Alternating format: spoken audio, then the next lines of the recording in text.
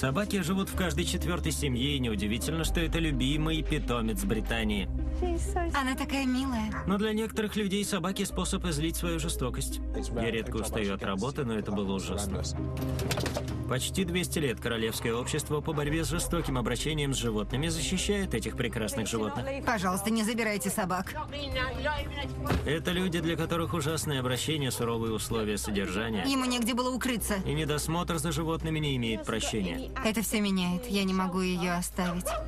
Они сделают все, что в их силах, чтобы проследить за должным содержанием собак. Это спасение собак.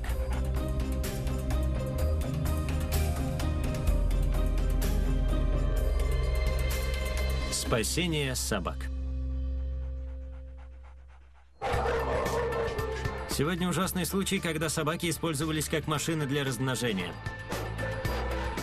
Это просто для собак. Собак держали под замком в Южном Уэльсе в отвратительных условиях. Здесь воняет повсюду отходы. Это просто несправедливо. И брошенный пес, который так изголодался, что хотел съесть свою подстилку. Если бы он проглотил такой кусок, это повлекло бы за собой тяжелые последствия. Породистые собаки стоят дорого, и на щенках можно сделать хороший бизнес. Ежегодно тысячи щенков взращивают нелегально. На них смотрят как на товары и не заботятся об их благополучии.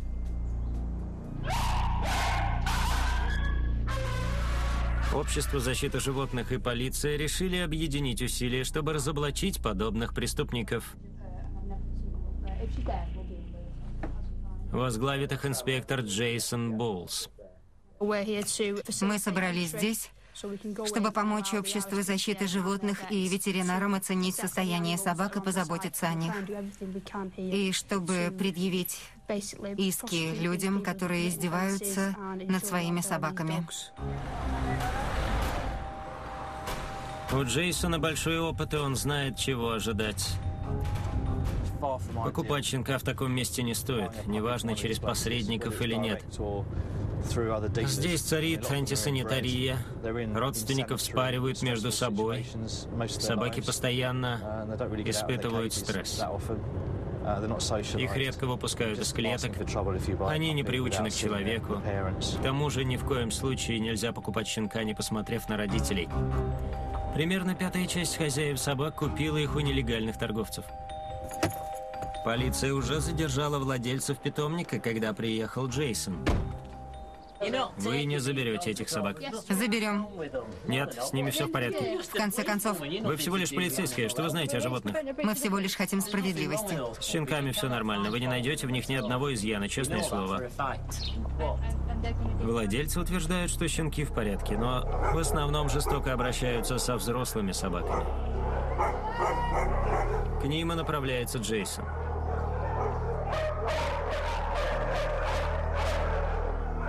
И он сразу понимает, что собак здесь держат только ради выгоды. Это старая собака, которая беспрестанно рожала в течение многих лет. Теперь она негодна для родов, и поэтому попала сюда. Сейчас она бесполезна, но ее щенки стоили огромных денег, и когда-то она очень высоко ценилась. Ветеринар Шон Тейлор собирается оценить состояние собак. Хуже уже быть не может. На экскрементах появилась плесень, значит, собаки лежат тут неделями. Здесь нет воды, а это уже является серьезным нарушением их содержания. Печально, что они не заботятся как следует. Общество защиты животных может предъявить владельцам иск, поскольку те не защищали своих подопечных от боли и страданий. Говоря о теле собаки, следует отметить, что соски отвисли до пола. Очевидно, что кормили ее как следует, но рожала она чересчур много. Я такого не видел никогда. У всех собак этого питомника тяжелая жизнь. Странно видеть лучшего друга человека в клетке. Но в Британии сотни таких питомников. Пока они скрываются от закона, животные продолжают страдать. Под сеном мы нашли мертвую самку шоколадного лабрадора. Мы стараемся избегать подобных случаев. Но, к сожалению, в этот раз мы не успели ее спасти. Это очень печально. Команде до сих пор не показали щенков. Позже мы узнаем, сможет ли Джейсон им помочь.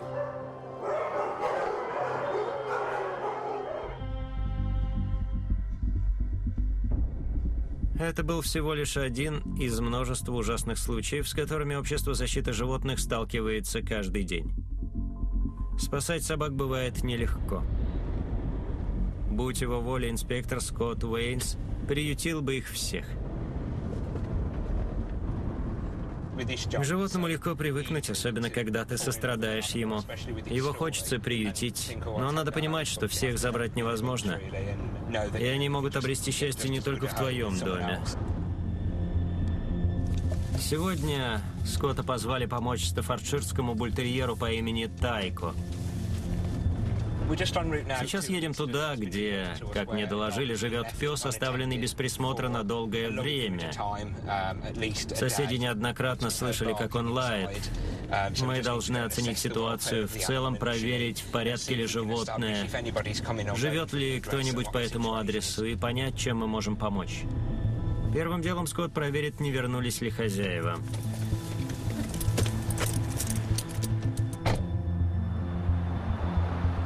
Иногда работа члена общества защиты животных очень напоминает работу сыщика. Чтобы узнать, приходят ли домой хозяева, они приклеивают скотч к дверям дома. Скотч выглядит нетронутым, и это значит, что пес находится в одиночестве как минимум около суток. Меня волнует, есть ли у него вода и еда. Поэтому мы очень волнуемся, что пес может погибнуть. Установив, что хозяева не возвращались, Теперь Скотту необходимо узнать, в каком состоянии находится Тайка. Но пес не подает признаков жизни. А соседи делятся новой информацией. Когда я видел пса, он выглядел покусанным. Ясно. Там было два пса, и, похоже, они подрались, и у одного из них морда была... Когда это было? Неделю назад. То есть он может быть ранен. Да. Каждое шестое дело общества защиты животных связано с брошенными животными. Скотт волнуется, что состояние Тайка может быть хуже, чем он предполагал.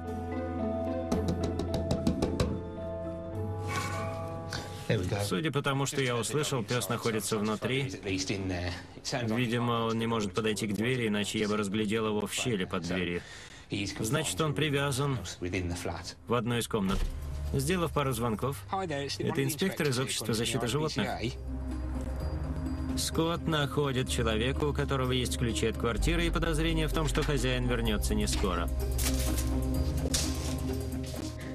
Мы должны неслышно подойти к двери, на всякий случай.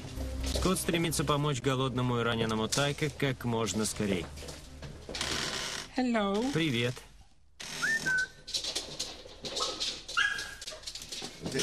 Он тут?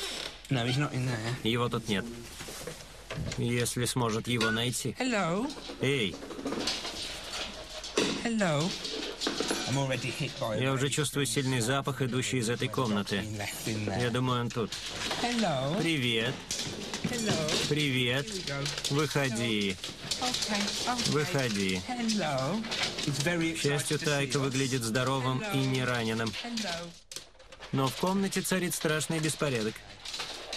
Как вы видите, на полу экскременты, а также похоже, что пес разорвал свою подстилку, потому что хотел есть. Если бы он проглотил хотя бы кусочек этой подстилки, это повлекло бы за собой тяжелые последствия и нарушило его пищеварительную систему. Хозяева не оставили ему никакой еды. Единственное, что радует, здесь хотя бы есть вода. Но в целом, такие условия непригодны для жизни собаки.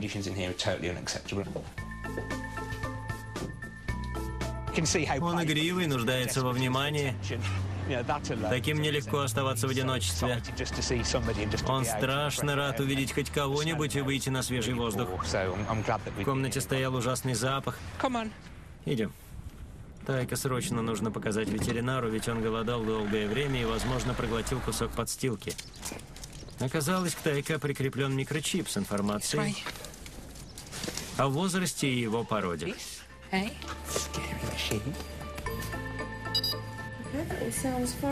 Отлично. После осмотра у ветеринара Бримери Тайка наконец может насладиться долгожданной едой. Потому как он ест, видно, что он жутко голодный. Собаку ни в коем случае нельзя доводить до такого. Когда она съедает целую миску и хочет еще. Наевшись, Тайка устраивается на новом месте. Если Скотт не сможет найти хозяина Тайка, то пес будет искать новый дом с новыми хозяевами.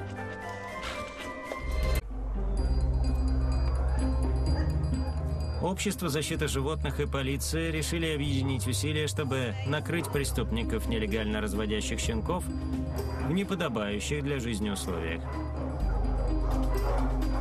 Они до сих пор не нашли щенков, но похоже, что дела совсем плохи. Джейсон находит мертвого щенка. Новорожденный щенок, наверное, умер во время родов. Его хотели сжечь.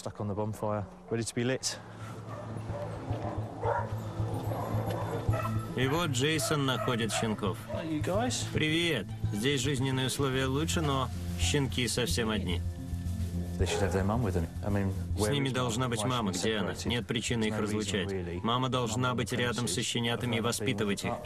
А они предоставлены сами себе в холодном и сыром сарае. Так быть не должно.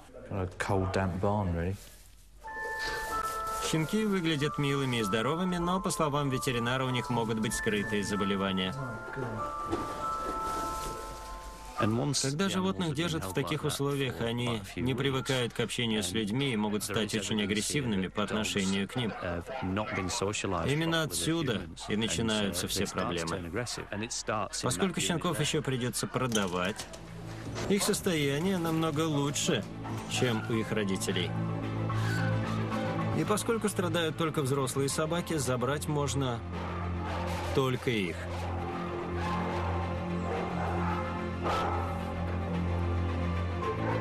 А что будет с щенками, пока неизвестно. По закону мы не можем забрать щенков, поскольку они не страдают и о них заботятся. К сожалению, позже они могут попасть туда, где жили их родители. Мы не знаем, что ждет их в будущем. Мы связаны с законом. Наши действия должны быть законными, пусть нам и хочется забрать всех прямо сейчас. Желая спасти щенков, Джейсон просит помощи у других работников. Посмотрим, что мы сможем сделать вместе с экспертами по стандартам торговли. Эксперты решили предъявить хозяевам питомника иск в связи с нелегальной продажей собак. В таком случае щенков можно будет спасти. Вы нарушили закон о разведении собак и закон о зоомагазинах, так что мы забираем и взрослых собак, и щенков. Нет, вы не можете. Можем. Нет, с щенками все в порядке. Они доказательства вашего преступления. Они в полном порядке. Команда достигла желаемого результата, но им еще надо записать в каталог всех лабрадоров, колли и хаски. Это будет долгий день. Теперь, когда собаки на свободе, стало еще больше видно, насколько плохо им жилось. У этой собаки распухли и вытянулись соски, а у других собак они практически достают до пола. Все они влачили жалкое существование. Они были просто машинами для размножения. Несмотря на многолетний опыт, сегодня Джейсон испытал нечто новое. Это самое большое дело из всех, которыми я занимался. Столько животных спасено за раз. Еще столько работы. Нужно пересчитать всех этих собак, составить списки. Эта работа заняла около 10 часов, но зато было вызволено 136 собак. Это одна из самых крупных операций по спасению собак.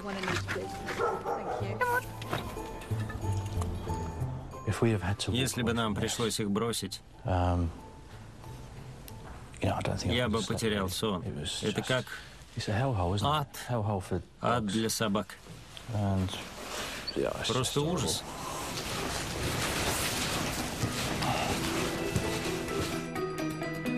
В 2012 году Общество защиты животных расследовало более сотни тысяч случаев жестокости. У многих хозяев было больше собак, чем они могли себе позволить. Николь Джонсон направляется в Южный Уэльс к женщине, которая не справляется со своими питомцами. У нее больше десяти собак, но в прошлый раз она не показала их Николь. Надеюсь, она впустит нас в дом. Иначе я начну подозревать что-то неладное. Я должна попасть внутрь, и я сделаю это. Я должна знать, сколько у нее собак и каковы их жизненные условия. Нравится ей это или нет.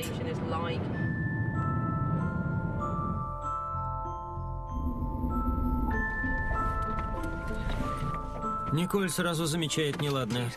Тощая, тощая. Увидев тощих лошадей и скот. Но больше всего она волнуется о собаках. Здесь намного тише, чем было в прошлый раз. Я говорю о собачьем лае. Не понимаю пока, в чем дело.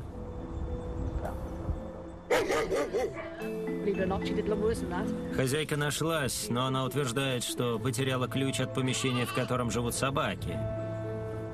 Вы правда не можете найти ключ? Он большой и блестящий. Инспекторы часто встречаются с сопротивлением, но Николь не сдается. В этот раз она хорошо подготовилась.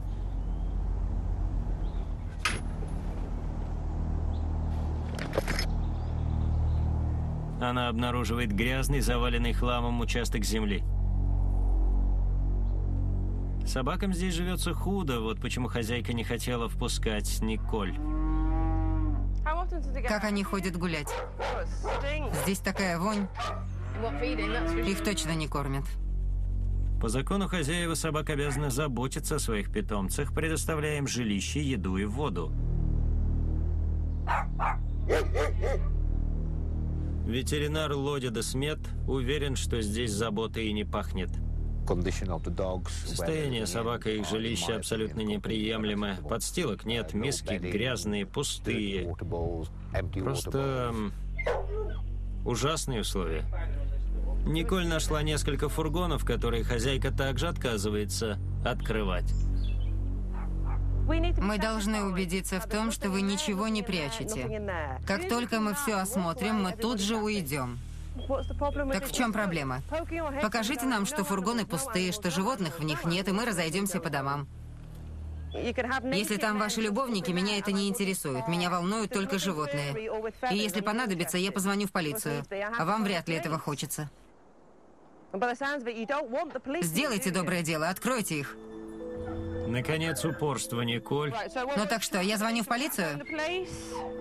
Ее угрозы окупаются. Она, наконец, признала, что прячет в фургоне собаку. Посмотрим, что там. Помесь немецкой овчарки и ротвейлера, пес по кличке Король скрывался в фургоне. Очевидно, что здесь держат собак. Все провоняло, повсюду их экскременты. Держать здесь крупную собаку – это безумие. Это просто несправедливо. По королю сразу видно, как мало за ним ухаживали. Но в прошлый раз я ушла ни с чем, а теперь я добьюсь своего. Хозяйка согласилась отказаться от четырех собак, включая короля. Теперь собакам найдут новых хозяев. Мне кажется, что хозяйка не такой уж плохой человек, просто она сбилась с верного пути. Никогда не поздно одуматься. Мы найдем новых хозяев для этих четырех собак. А с меньшим количеством питомцев ей будет легче справляться. У собак будет больше места, жизнь наладится. Заводя животных, следует убедиться, что вы сможете заботиться о них как следует. А если вы не справитесь, что ж, один из нас придет за ними. Это наша работа.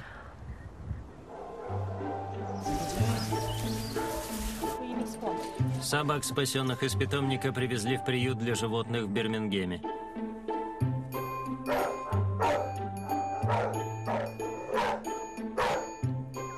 Это место разительно отличается от мрачного грязного питомника, в котором они жили раньше. Благодаря Джейсону и его команде они могут обрести новый дом.